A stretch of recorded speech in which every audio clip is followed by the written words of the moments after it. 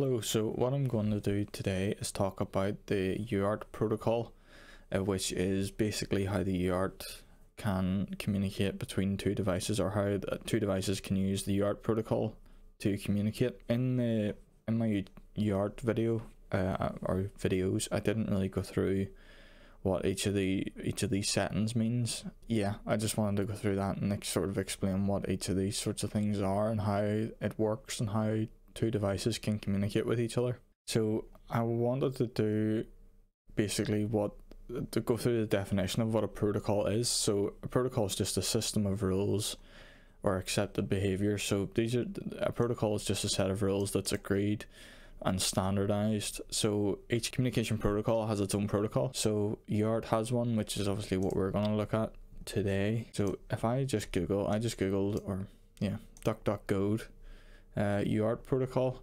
And basically what happens is, if I can find this as a better image here. So the way it works is device 1 and device 2 want to communicate. So you hook up two wires. So the TX of device 1 goes to the RX of device 2 because device 1 is transmitting and device 2 is receiving. And device 1 hooks up the RX pin to the device 2 TX pin and both of them need to be connected to ground. Um, I wanted to highlight this first of all because this is very easily done where you hook up TX to TX, RX to RX, but it needs to be TX to RX um, as seen here as well. And they do need to have a common ground as well, which is important for the communication. And then what else we need to talk about is how this data is sent out. So this is a good image here. So basically the way it works is one packet of data, it contains all of this information. So a start bit, the data frame can be 5 to 9 bits, 5 to 9 data bits, a parity bit and 1 to 2 stop bits. So basically whenever a UART communication starts, this start bit goes from high to low and that lets the device 2 in this case. So let's say device 1 wherever it is. Let's say device 1 is communicating to device 2 and it's sending a character across. So the tx line here will be pulled low like logical low. So it'll go from whatever 3 3 volts or whatever to 0 and then this device will know okay that's when i have to i know how i have to start listening and reading in this data. And then from there, what happens is the data bytes get sent out. So I need to get an ASCII table because this is where the ASCII table is really useful. So uh, the ASCII table is just a standard table, a standardized table of how characters, so your letters of the alphabet, for example, delete characters, uh, greater than symbols, less than symbols, and things like that are represented as numbers for microcontroller or in a microcontroller or in any computer, I suppose. Um, I'm trying to find like a decent image. Um, this one was probably the best. I'll try and zoom in. I zoom in, it makes it harder to read. Okay, zooming out. Okay, zooming out seems to make it bigger for some reason. Anyway, it doesn't really matter.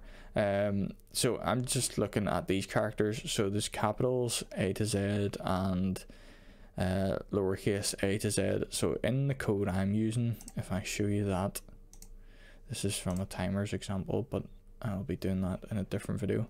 So I'm sending out a capital B, which is 0, 1, 4 zeros, 1, 0.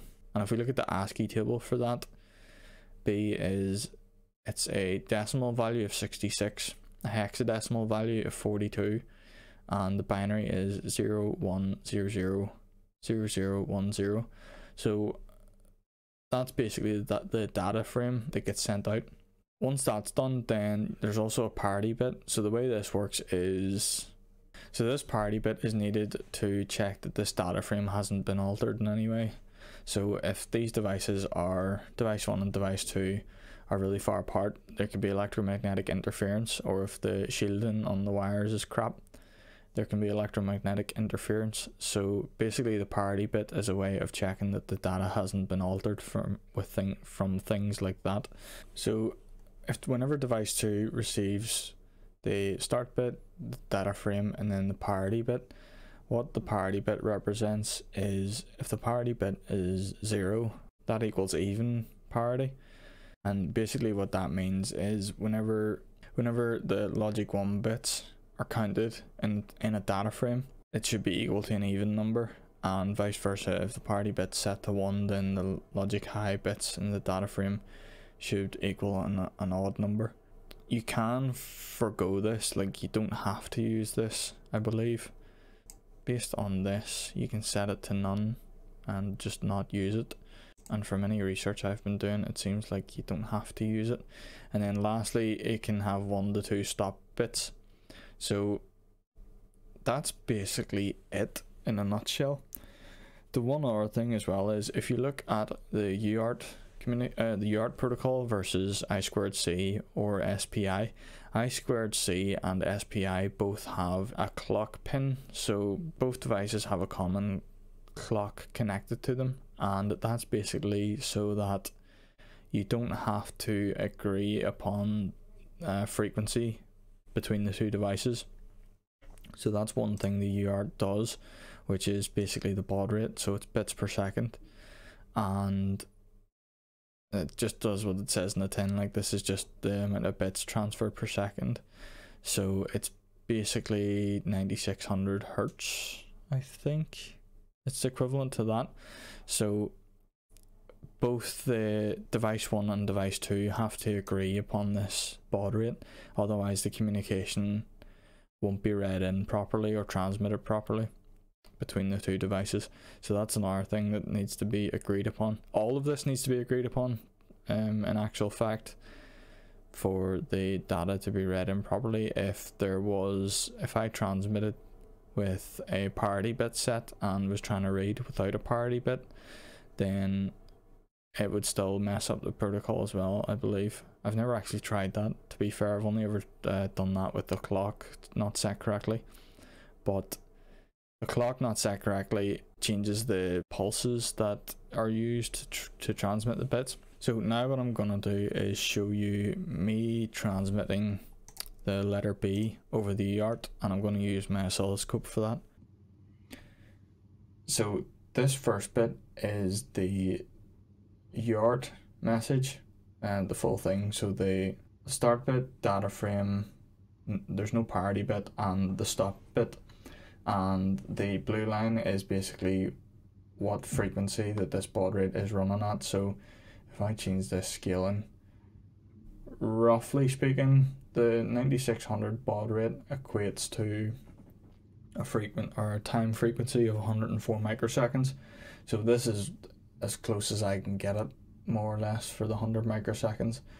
So we can see here on the uh, the yellow line basically the start bit drops low and then it's low for one one duty cycle. So I need to run this to try and get it match up a bit better. There we go. So it's low for one cycle and then if we look I, I'll try and I'll put the, the ASCII table for the character B up and try and match it. Some fancy oscilloscopes have this sort of built in where they'll automatically decode, but this is not a fancy oscilloscope, it's a nice basic one, but I can show you here uh, based on this. So one high low is equivalent to one bit. So the stop bit comes low and that's low for one one cycle. It's a bit easier if I move this over the squares to count. So basically one pulse is roughly one square here and as you can see it does move a wee bit because it's not exactly 100 microseconds but if we do roughly it's 0, 0, 1, 2, 3, 4 zeros there and then it goes high. And then it's high for one cycle and drops low to a 0 and that's our B character all there. And then the last bit is it goes high so if I run this it goes high and if I change the, the, the time scale it just continues to be high then for the rest of it. And that's basically how the UART protocol works in a nutshell. Uh, I hope that has cleared up uh, anyone's confusion or hopefully help people understand a bit better what the baud rate is. It's easier to probably understand this and then what we can do is look at I2C as well and that protocol and I'll be able to talk about the differences between the two and now that we have this to compare to I can sort of compare it against I2C or I can compare the I2C against the UART. I'll also have a timer video because I had to generate a timer interrupt to uh, create my clock signal and I can basically show you how that's done as well in a different video. Um, but that's me. I'm gonna go now and chill out for the rest of the day. So, bye.